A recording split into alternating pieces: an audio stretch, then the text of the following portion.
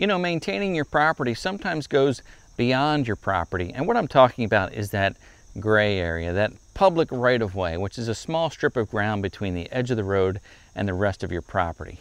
And we're still kind of responsible for maintaining it, although the government can use it as they see fit, which usually just means burying utility lines or maintaining a ditch. But it's still our property, and how we maintain it is primarily up to us. Now, the county or the town might come through once or twice a year and mow along that edge, or they might trim branches that are hanging over, but that's about it.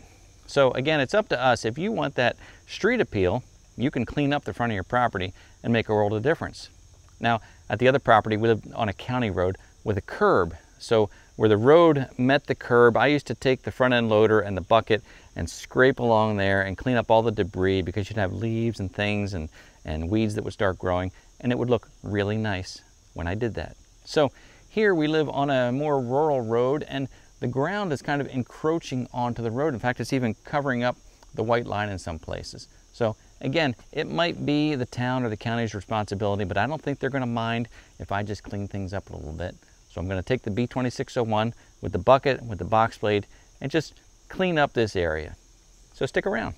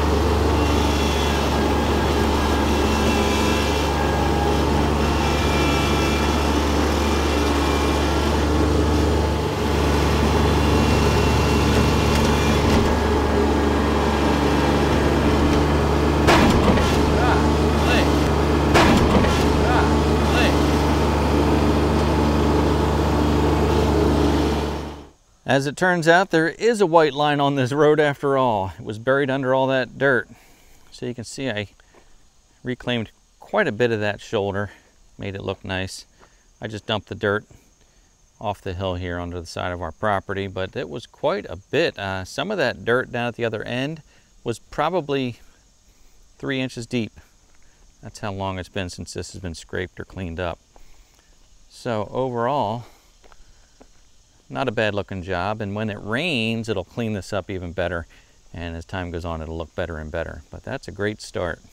Well, what I thought was going to be a simple little project turned out to be over an hour's worth of work. But isn't that the way it always is when you get into things? So the dirt here was a lot deeper than I thought, and it had encroached on the road a lot more than I thought. So I'm glad I was able to get that cleaned up. I know the rains that come over the next several weeks or months are going to clean it up and make it look even better yet, so I look forward to seeing that.